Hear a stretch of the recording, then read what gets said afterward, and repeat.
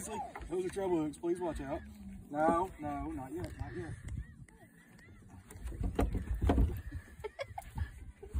Stop it.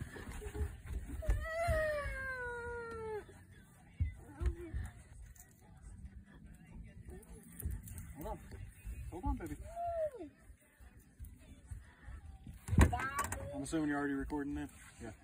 Uh, third fish of the day, second for me. She, ew, this one's got a bug on it right there. She really wants to let this thing go, so we're gonna let her. Say bye-bye. Hazel, good release. Good job, girl.